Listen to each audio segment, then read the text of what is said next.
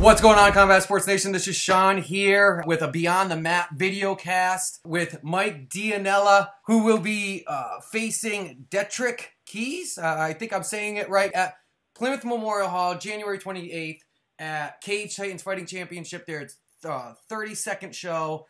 Mike, how are you? I'm doing good, Sean. How are you? I'm doing well. I'm doing well. You know, I, I have your fight going on in the background. I wanted to uh, take a look here. Tell tell me tell me how it was how was it feeling walking out for the first time? It, it was beautiful. It's a feeling that I'll never get sick of. Let, us take a minute. Let's, let's take a minute and, and look at that there. You see that guy right there? Yeah. Wow. He's cut up, man. Shredded. tell tell me that feeling that you were going through uh, as you were walking down on those I stairs. tell you, I, I, I, of course I was nervous because it was my first time. Right. But my nerves went away. The reason I stand there so long, I forgot my mouthpiece. and the rep was good enough to let me like hang out for like three minutes. One of my coaches, Mark Giovi, ran upstairs and ripped through my bag and found my mouthpiece. And who who was that? Um, Miner. I think that was. Uh, yeah, Brian Miner. Brian yeah, Miner. thanks, Brian. Appreciate it. Man. He's a good guy. He is definitely a good guy. Sure is. Good guy. At least you didn't forget your cup. That that would have been. Uh, Yeah, now, that would have been a lot worse. w- was it your mouthpiece that somebody ended up getting, or did you end up getting somebody else's?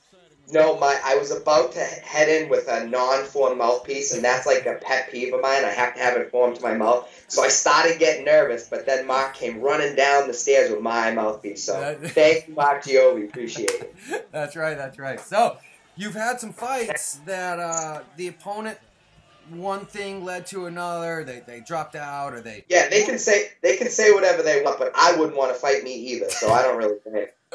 Why is that? Why do you think that is? What what has happened? I tell you what it is. I'm a bad man, and the guys I tra- I train with straight killers. I've had one amateur fight. I'm training with undefeated pros like Manny Bermudez, hmm. Joe Joe Giannetti, Skeletor. I'm training with guys like Bobby Gazdia, the you know 175 pound champion of Cage Titans. How can I lose against these guys that are at my level? I'm a level up. I'm a level up from these guys that I'm fighting. And they find out and they pull. They start asking around. Justin Bombardier started asking around. He didn't like what he heard, so he pulled.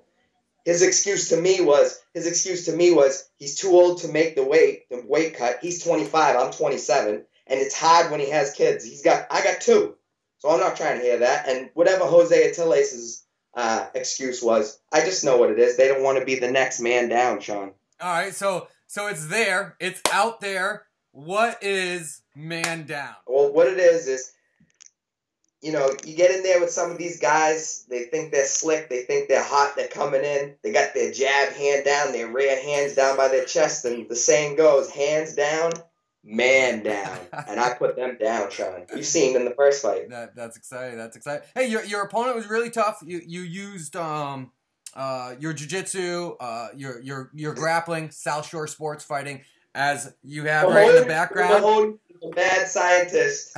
so so uh, and everybody says that Bill Mahoney is the master game planner. Uh, what what was your game plan going into your first fight, being your debut? He he was debuting. There's the un quote unquote the unknown. Um, Which is the scariest. The unknown is the scariest thing. Honestly, the game plan was to go in there and stand up. We figured him being out of Brazilian Martial Arts Center in Somerville that he would have a ground game. And as soon as we came out and he threw that leg kick, the game plan changed to buying him a one way ticket to Pound Town. you have I, I want to say punchline after punchline. What is going to be the punchline when you're when you walk into the cage and your hand is raised thereafter? Well, Figure- good. I'm, I'm glad that you already know I'm going to win because there's no way I would lose to somebody on this lower level than me. He's lucky to even be in that cage with me, first of all. But second of all, uh, this time, this dude was making memes. Me and my teammate Johnny Campbell, we're, we're fighting guys out of the same gym from the Warrior Warehouse in South Carolina. And these guys went on Johnny's fight card from Cage Titans that was posted on Facebook, and they were making memes about us. And he made a meme about me because my last name's DiNella. He was so he was you know real good and rhymed it with vanilla. Like I didn't hear that growing up my whole life. Uh, and he made a meme with me on top of an ice cream cone. So after I whoop this dude's ass, I'm gonna hand out some ice cream for everybody. Uh, is that uh, and you're you're an intense guy. Do do you feed into that? D- does that drive you? Does is that like? Uh, I wouldn't say I, I wouldn't say I feed into it as a matter of fact, it actually made me more confident in this fight because this kid's out there making memes while I'm in the gym hitting rounds and hitting the mats, and uh, you just can't reproduce that. You know what I'm saying? You can do, you can say you're doing things, but when you're actually doing it, you'll see. You'll see when we fight. You'll see the difference between a guy making memes on his computer and a guy who's training all the time. As you've been training and your opponent keeps on tra- uh, changing, how much have you changed or have you needed to change for keys? Or does Bill say, you know what, it's about you guys, it's not about him? Bill Bill does say that a lot, and in my case, I don't worry about these dudes because it not one not one person I got, not one of the two people that pulled out, or the, the guy that I'm gonna fight is anywhere near my level. So I just concentrate on myself, and I'll blow through them when the time comes. Comparing your skills side by side, is there anything that stands out from him, or where do you see yourself being most dominant? Uh, in every facet of the fight, there's nothing this guy has that's a better level than me. No matter how hard he, he's training now. And the fight got moved up because clearly he hasn't been training. So if he thinks 12 days of training is going to take me on, well, he's clearly a joker. Because that's a joke. Said you're going to 160 because short notice and he asked for it. But yeah, my two my two original fights were supposed to be at 55. My last fight was at 50. I like to say I'll fight whoever at whatever weight they want. It really doesn't matter to me. If they're stronger, I'm faster. If they're faster, I'm stronger. It's a guarantee. You're walking down the stairs for the second time. How do you feel that's going to be different than the first? Knowing you, knowing your this is your second fight camp, this is your second um, it'll be your second time walking into the cage. How do you think it's going to be different or how has your preparation, not opponent preparation, but mental preparation been different? Um, my my my mental my mental game was so on point for the first fight that I haven't changed anything. Mm. I felt great physically. I felt great mentally. Uh, of course, there's nerves. You're getting half you're half naked, standing in front of thousands of people about to fight somebody. Of course, there's nerves. But I had very little doubt that my training would fail me. You know, I knew going in there that I had done I had done enough to beat my opponent, and I feel the same way already. And I don't I don't quit. I don't stop. You know, mm. and, and guys guys can't handle that. And, and and this dude took the, you know, took like I said, taking the fight on short notice. I really appreciate, it, but I'm a I'm a nightmare, man. You need a lot more than 12 days to prepare for me. When when was the moment you said, "I'm gonna be"? You're 27, right? And, yeah. and that that's quote unquote late uh, in, in the sport uh, of mixed martial arts. But at the same time, people say mixed martial arts is the only sport that you could really start and have success right in in in many many different facets of your life uh, as far as age. Right. You're 27. When did you make that decision to to join a gym, uh, and you wanted to fight, or was it just joining a gym and this is where it progressed? Well, when I was younger, I, I did box a little bit, and I always kept up with that workout. I would always stay going to the gym, even if I didn't do it competitively. But then, you know, once I was 21, I had my first kid, and then I was 24, we had, I said, me and my wife had our second child, and before I knew it, I was like 230 pounds. oh my goodness. and I can I can remember the day I had the revelation. I got on the scale and I saw 230, and it all first started with just trying to lose the weight and get healthy. And I got down to 200 pounds. I did a, tr- a 5K trail run in Weymouth. This was a couple years ago. And then, you know, I was always a fan of combat sports and MMA. And um, so I said, screw it, let me try to lose some more weight and look for a gym. And I got down to like 180. I was feeling good. And I, I just so happened to stumble across Shore Sport Fitness. And I went in, and that very first day, I made the mistake of sparring with Manny, Manny Bermudez. and uh, after getting my head smashed in for like three or four rounds, I was like, I love this place. and uh, I just kept going and kept progressing. You know, I did a Naga last year down in Connecticut. I won that in my bracket. And, um, you know, I, I kept kind of bugging Bill. I'm like, Bill, you think I can fight? You think I can fight? And, you know, I proved myself to Bill, and he's down with it. And I'm down. I, I'm down for social. I, I ride or die for South Shore Sports Fighting. Those guys are unreal. The, the coaches in there, Mark Giovi, Ryan White. I mean, Bill's a mad scientist. The the, the fighters in there, uh, uh, Jimmy Manning, Manny Bermudez, Jojo Giannetti, Bobby Gasia, Zach Sabatino. I mean, everybody helps everybody. There's no, you know, everybody's in for the team. It's unlike anything. And that's why we run through all these other gyms. That's why we're the most feared team. That's why guys back out. Giannetti just got a new opponent. Yeah. Guys stay backing out. You have a lot of buzz around you. Uh, I I'm sure because of your performance, um, your animated personality. Um, is this is this you? I mean, we know each other very little, but how much of this is you, and how much of it is is um, the promoter, the fighter, or is it all one and the same? The, the beautiful thing is, it, it, has become all one and the same. I don't hide nothing. You can ask my wife. I'm like this when the camera's off. I don't stop. She gets she gets pissed off. She's like, "Will you just sit down for a minute and just take a breath?" I'm always going. I don't sleep. I don't rest. You know, and it just so happens that this is this. I'm good at this. I know. I, what am I gonna lie for? I know I'm good at this, but that's because I'm, I'm not lying. That's because everything is true. It's all real. You know, people people comment on my Facebook videos and stuff. I see people out they say, "Oh, you know, I get my kids involved in everything because that's what I'm doing." You know, if I'm not at the gym, I'm here hanging with my kids or working. You know what I mean? And I just let people in. That's really all it is. I just let people in and goof around. And everyone's like, "Oh, you know, you you you're crazy on social media." Nah, I'm just re- put, record while I'm dancing or some shit. I'm not doing anything crazy. Where'd the fighter in you start? Were you were you a troubled kid? Were you you know what? Well, I didn't so much say I was a troubled kid, but I didn't take no shit. I was gonna say, know, you don't seem like you don't- fight school. And my dad's my dad said, you know, I, I get kind of get that from my dad. My dad said, look, if you're gonna fight, if you're gonna be a fighter and, and shit, you know, you're gonna have to learn to defend yourself if you're gonna have a mouth like that. and uh, that's you know, that's how he got me into boxing, and I just fell in love. But I get that honestly, I get that from my dad. I get the fighter in me, all that crazy stuff. That that all comes from my dad. That transformation that happens in the ring, that's that's all from the old man. I'm not looking for you to call a person out, but is there a style of fighter that you could put a name on that you like? That is what I want to challenge myself with, or by. honestly, I'm a fan of this dude, so I don't want him to think I'm calling him out because that's not what I'm doing. But I am a John Douma fanboy. That kid is so tough.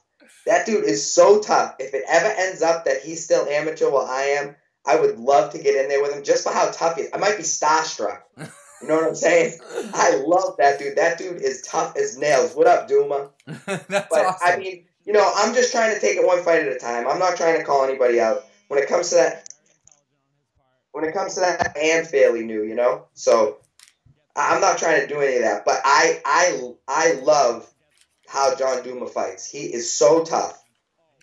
and especially in his last, you know, his last fight, uh, um, he Yeah, he was and that was awesome because I'm up in the stands with all, like all my friends that came and everything, and I'm like, yo, this kid John Douma is so tough. And he comes out in the first two rounds, and Rossi's putting a beating Yeah. on him. And my buddies are like, "You're crazy. You don't know nothing."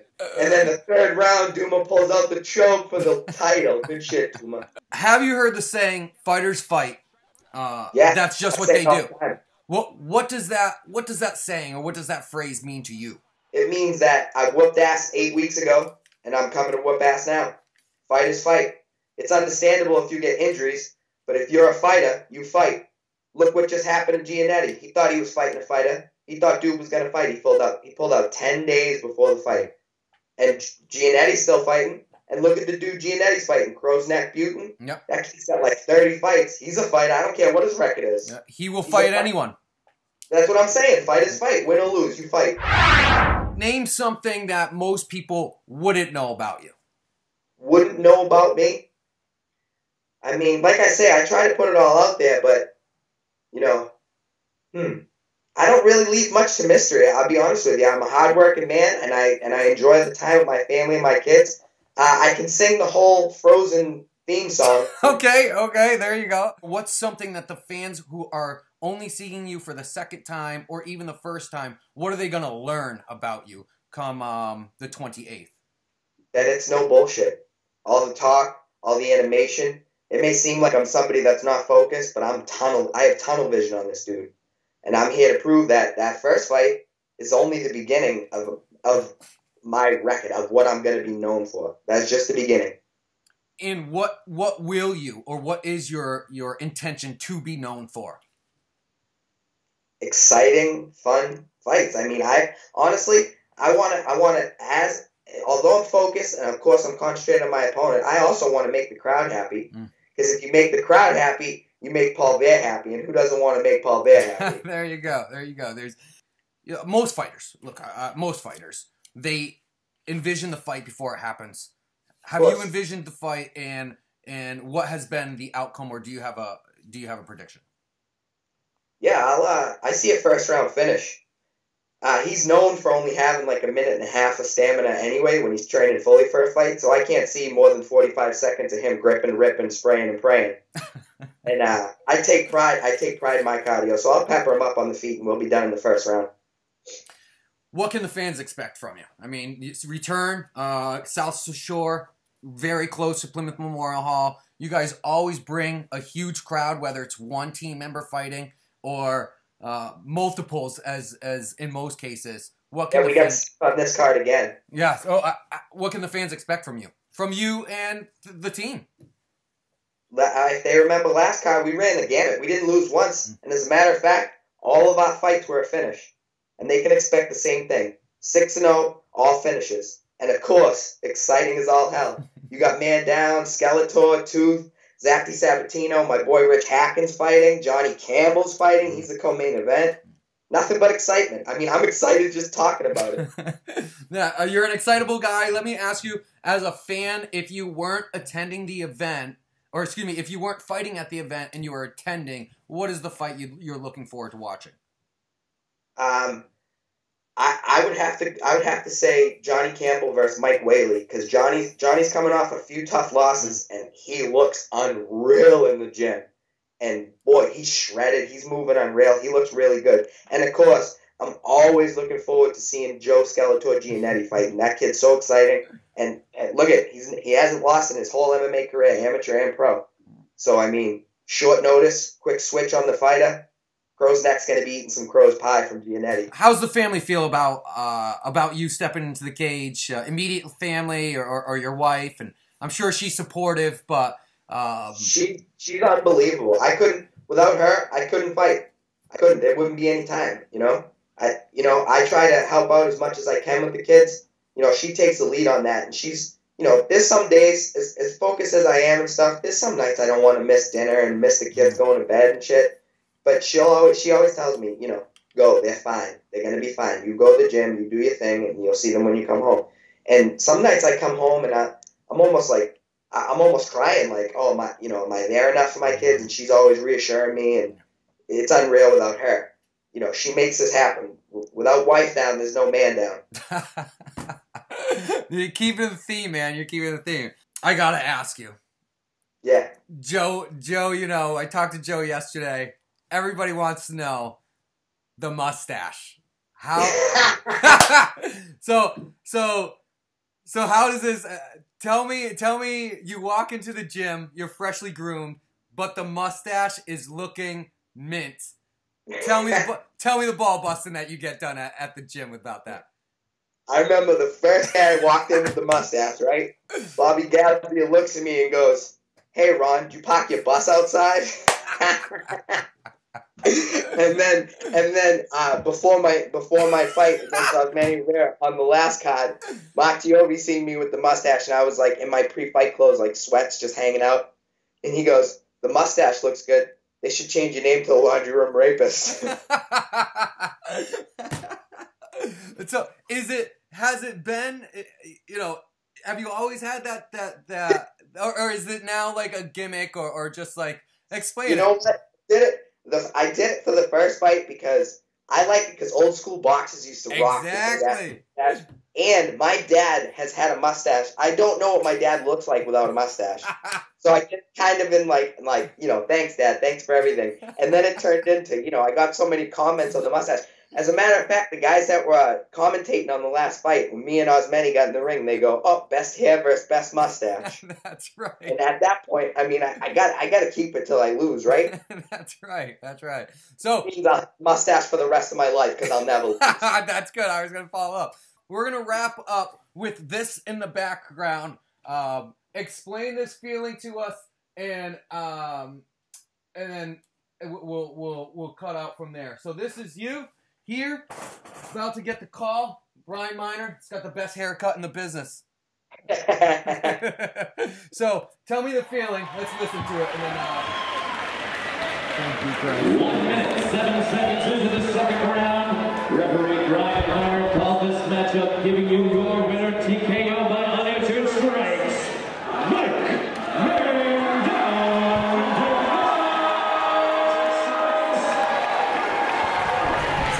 A great show of respect between. It's not, it's not like that. This- I, everybody done, but there's no better feeling than that. That feeling, it's it's remarkable. There's you you know you can't match that. Like I said, I don't know how what kind of drugs everybody's done, but there's no better feeling than that. Listen, man, I greatly appreciate it. We look forward to seeing you um, January 28th, Plymouth Memorial Hall. It's Cage Titans 32. I have Mike DiNella, man down. So is it Mike, Man. Mike man Hashtag down? Man down. So, so uh, hashtag, look at that, hashtag man down. So is that uh, Mike man down, DiNella? Or, Mike Man down DiNella. all right, my friend, thank you so much. We look forward to you and the rest of the team at South Shore Sports Fighting uh, coming up uh, in, in less than a week now. Um, Alright. Once again, Wade's great, by the way. Wade's phenomenal. I'll eat a steak if I want. Wade's great. look at that. Especially since he gave you an extra 10 pounds. That's right. That's great. So, my friend, I appreciate it. And uh, I look forward to seeing you at weigh ins. Maybe we'll talk again then. Yes, sir. I'd love to. Good seeing you. Thank you, my friend.